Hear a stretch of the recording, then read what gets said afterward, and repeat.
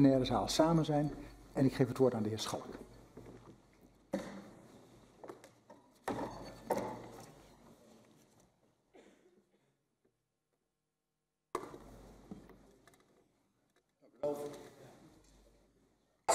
Dank u wel, voorzitter.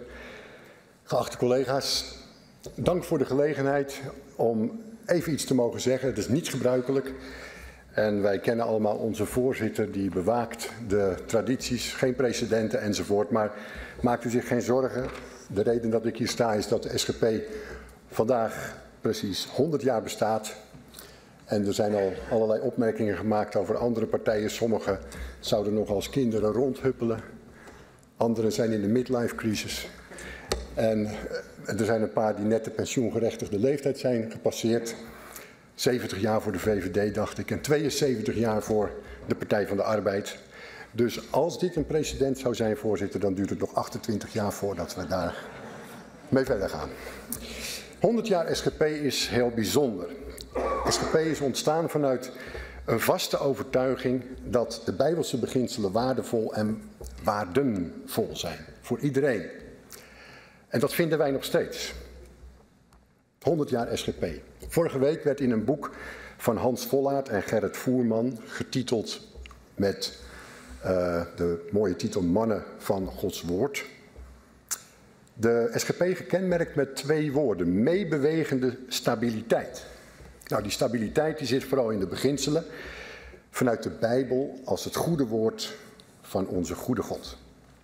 En de bewegelijkheid zit hem in de samenleving, waarin ook de SGP voluit participeert. En natuurlijk in de mensen die die SGP vertegenwoordigen. Neem bijvoorbeeld mijn goede collega Diederik van Dijk, die het vorige week bestond om een stemverklaring over het beëindigen van subsidie voor vechtstieren in Spanje te besluiten met de uitroep Olé. Onze illustere voorganger Gerrit Holdijk zou bij een dergelijke uitroep vermoedelijk één wenkbrauw hebben opgetrokken en zich vervolgens aan zijn pijp hebben vastgeklampt. Overigens, de omloopsnelheid is gering. In de Eerste Kamer zijn wij ruim 50 jaar vertegenwoordigd. Collega Van Dijk en ondergetekende zijn de negende en de tiende senator. En in de Tweede Kamer gaat het nog langzamer.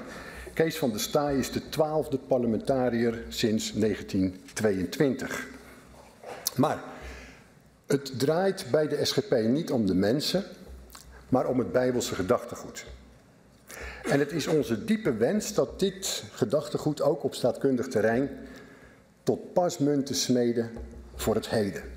Dat doen we al honderd jaar met die wisselende personen en in die wisselende omstandigheden. Altijd constructief, gouvernementeel en vanuit een vast kader. En dat is vastgelegd op verschillende manieren.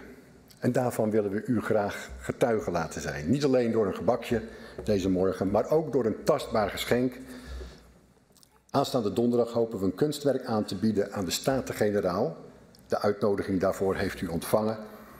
En vandaag ontving u een tweetal geschenken die ik straks symbolisch aan de voorzitter wil overhandigen. De eerste is een glossy, passend bij de moderne uitstraling van de SGP. Met daarin overigens een prachtig interview met onze voorzitter, mevrouw Broekers-Knol, die uh, helaas hier vandaag niet bij kan zijn, maar waarvoor we de aanbieding van het geschenk, het kunstwerk, hebben uitgesteld naar aanstaande donderdag, zodat zij daar ook bij kan zijn. En het tweede is een zwaarwegend boek met de prachtige titel Politiek bij een geopende Bijbel. Nou, zoals u weet, wellicht heb ik gewoonlijk mijn Bijbel bij me. Het is het richtsnoer in mijn leven. En daaruit geef ik graag een tekst mee, die staat in een brief aan Filippi, hoofdstuk 4, nummer 8 voor de liefhebbers. Daarin worden we opgeroepen om te doen al wat waarachtig is, al wat eerlijk is, al wat rechtvaardig is, al wat rein is, al wat lieflijk is en al wat welluidend is. Dat noemen wij bijbels genormeerde politiek. Dat is de manier waarop de SGP gisteren, vandaag en morgen politiek wil bedrijven. En dat doen we heel graag in hartelijke verbondenheid aan u allen als onze zeer gewaardeerde collega's. Dank voor uw welwillende aandacht.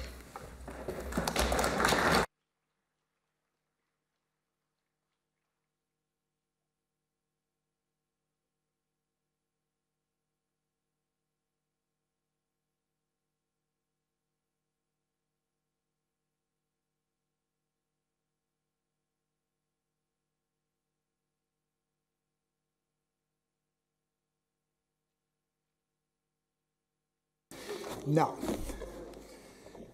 beste Peter, dankjewel.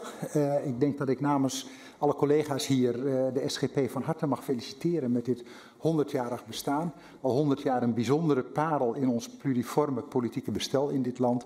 En ik gun jullie van harte dat je nog vele jaren in die rol uh, voort mag gaan. In het college van senioren is vanochtend even gewisseld dat er één politieke partij bij mijn weten is die het meer dan 100 jaar heeft volgehouden in de geschiedenis, 101 jaar en een aantal maanden. Dat was de antirevolutionaire partij, maar die is zoals bekend na 101 jaar opgegaan in een ander verband. Uh, ik weet niet of dat jullie ambitie is, maar ik denk dat de SGP ook heel veel waarde heeft als ze nog een poosje zelfstandig voortbestaat. En dan zal het nog heel lang duren voor ze door anderen wordt ingehaald als dat ooit gebeurt. Van harte gefeliciteerd. Ik sluit deze bijeenkomst en uh, wens u allemaal verder een goede dag.